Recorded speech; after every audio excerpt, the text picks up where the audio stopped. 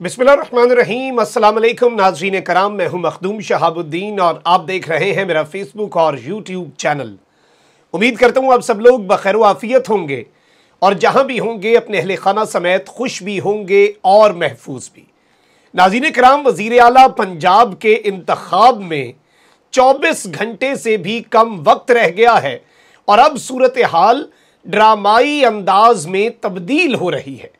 कल पाकिस्तान तहरीक इंसाफ पर जो हमला किया गया और किस तरह पाकिस्तान तहरीक इंसाफ का मैंडेट चुराने की कोशिश की गई, ये पूरी कौम के सामने है, लेकिन अब कप्तान ने टेबल्स टर्न कर दिए हैं।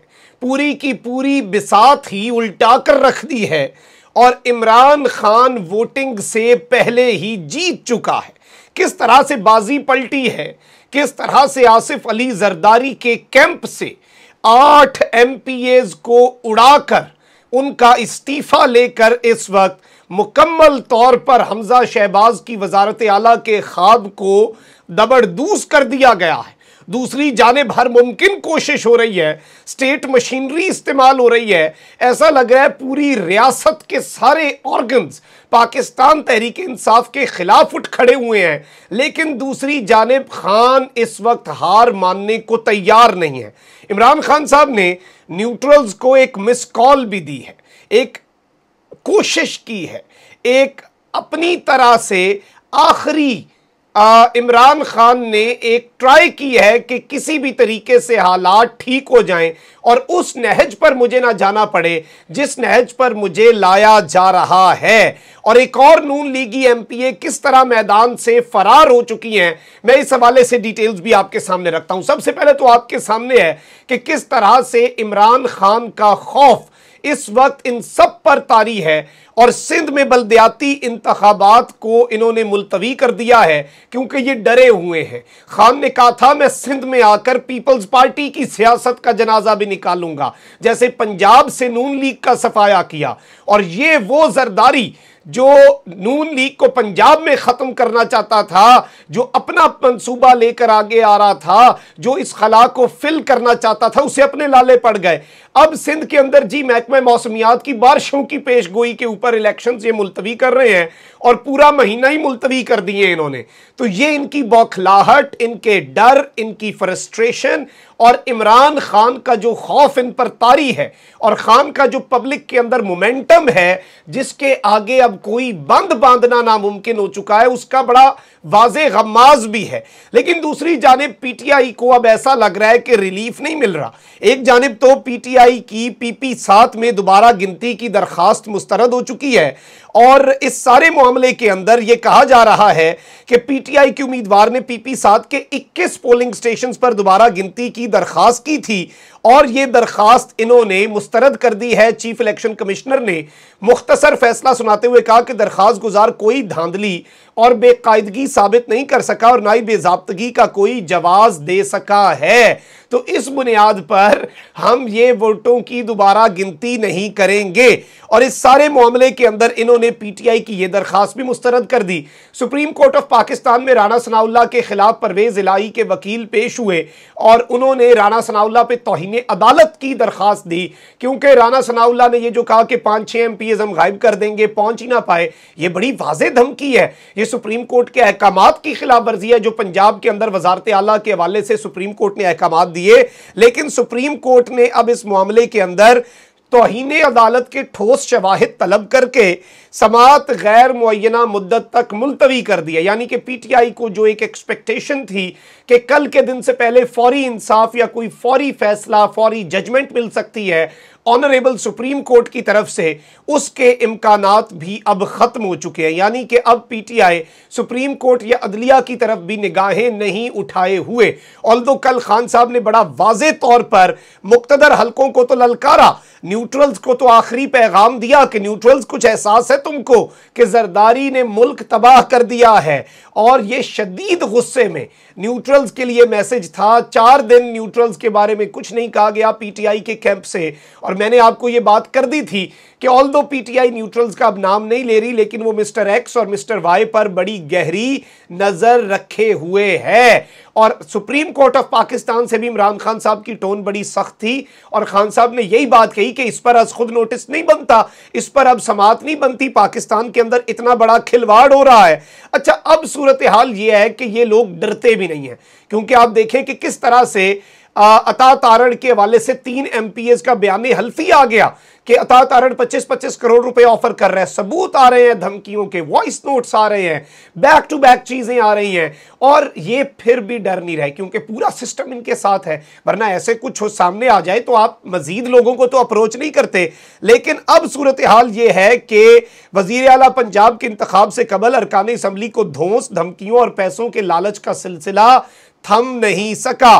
पीटीआई के एक और रुकन ने भांडा फोड़ दिया है और फैसलाबाद से ताल्लुक रखने वाले अहमद कास्तरों को भी धमकी आमेज कॉल्स मौसू होने लगी हैं और उनके मोबाइल पर धमकी आमेज कॉलें मौसू हुई। वो पब्लिक में आए, उन्होंने कहा कि मैं खान का सिपाही हूँ।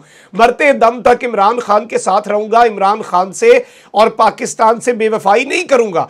अच्छा एक जानब तो ये सूरत हाल है, वहीं दूसरी तरफ़ पाकिस्तान तहरीक इंसाफ ने कल बड़ी बेहतरीन स्ट्रैटेजी लगाई। एक चौधरी मसूद लोटा होकर तुर्की फरार हुआ पीटीआई ने इधर रोला डाल दिया और पीटीआई की सबसे बड़ी ताकत अवाम है। पीटीआई को तो कहीं और से रिलीफ नहीं मिलता। अवाम सड़कों पर आ गई, लोटे के घर के बाहर धरना दे दिया लिबर्टी के अंदर अवामी रेफरेंडम हुआ और अवाम का एक गुस्सा दिखाया गया मजीद लोटा होने की नीयत करने वालों को कि अवाम तो इस मरतबा घरों में घुसकर निकालने की बात कर रही है और घरों में घुसकर बाहर घसीट कर लाना। यही तो श्रीलंका के हालात थे। इससे आगे फिर और पाकिस्तान की तबाही के लिए क्या बचेगा? अल्लाह ना करे खाकम बदान। अब पाकिस्तान तहरीक इंसाफ का आज भी आठ नौ बजे रात को मुल्क गिर एहतजाज है और इमरान खान ने लाहौर के लिबर्टी चौक में कारकुनों से खिताब भी करना है और पीटीआई ने अरकान को गुलबर्ग से माल रोड के होटल पर मुंतकिल कर दिया है। माल रोड के करीब जो होटल है, वहाँ पर इस वक्त अरकान मुंतकिल हो चुके हैं और इस सूरत हाल के अंदर इमरान खान के दौरे के सिलसिले में ये सारे अरकान, जो रात को ही 186 का नंबर चाहिए होता है 187 का नंबर पूरा था, ये सारे रात को वहाँ पर पहुँच गए हुए थे। इन्होंने अपना नंबर पूरा कर लिया था। अब जो दिलचस्प खबरें हैं नाजीन कराम वो ये हैं कि एक तरफ़ तो ये लोग लोटे कर रहे हैं तारण भी इस्तीफे दिखा रहा है, और अब ये स्पीकर के पास होना चाहिए था इस्तीफा था तारण के पास क्या कर रहा है ये बड़ा इंपॉर्टेंट क्वेश्चन है चोर की दाढ़ी में तिनका। लेकिन आठ नून लीगी एमपीएस के हवाले से इस वक्त सोर्सेज क्लेम कर रहे हैं एक साफी इमरान भट्टी उन्होंने भी कंफर्म किया है। और दीगर सोर्सेज की तरफ़ से भी खबर आ रही है कि नून लीग के आठ एमपीएस के इस्तीफे आ चुके हैं। अच्छा अब ये बड़ी अहम और बड़ी दिलचस्प स्ट्रैटेजी है क्योंकि ये जो आठ आ, रेजिग्नेशन हैं, आठ इस्तीफे हैं, ये चौधरी परवेज इलाही के पास जमा करवा दिए गए हैं मुबैना तौर पर। यानी कि चौधरी परवेज इलाही के पास आ गए, उनकी जेब में आ गए। अच्छा ये फौरी तौर पर इस्तीफे मंजूर नहीं किए जा रहे। ना ही इन्हें इस्तेमाल किया जा रहा है, बल्कि इन्हें पत्तों के तौर पर, जो आपके पास कार्ड्स होते हैं ना, सही वक्त पे सही पत्ता, और ये डेवलपिंग सिचुएशन के हिसाब से इस्तेमाल किए जाएँगे। आपने पीटीआई के दो बंदे तोड़े, आपके तीन इस्तीफे यहाँ से कबूल हो जाएँगे। आपने वहाँ से चार बंदे तोड़े, यहाँ से आपके पाँच हो जाएँगे। तो ये सूरत हाल इस वक्त हो चुकी है, और इतलात यही है कि रात को इंपोर्टेड के, वैसे तो इस पूरे भानुमती के कुंबे के एक सौ बहत्तर बंदा है, लेकिन इनके अपने न्यूज़ चैनल्स के मुताबिक होटल के अंदर ये 160 बंदा पूरा करने में कामयाब हुए। तो 160 लेकिन ऑल दो पीटीआई जो है, उसका एक ही बंदा नहीं पहुँचा और वो था दोस्त मजारी, जो कि वैसे ही डिप्टी स्पीकर है तो ऑब्वियसली वो जिस तरह का डिप्टी स्पीकर है और जिसका डिप्टी स्पीकर है, वो पीटीआई का तो नहीं रहा। लेकिन पीटीआई के पास फिर भी एक का फिगर ज़्यादा है। गोल्डन नंबर से पीटीआई इस वक्त ऊपर है और इन आठ एमपीज की पाकिस्तान तरीके इंसाफ से सिर्फ़ एक डिमांड सामने आई है। और वो डिमांड है, ना हमें पैसा चाहिए, ना कुछ और चाहिए, हमें बस अगले इंतखाब के अंदर जीत की गारंटी चाहिए। और जीत की गारंटी इस वक्त पंजाब में, पूरे पाकिस्तान में क्या है? बल्ले का निशान, यानी कि पीटीआई की टिकट।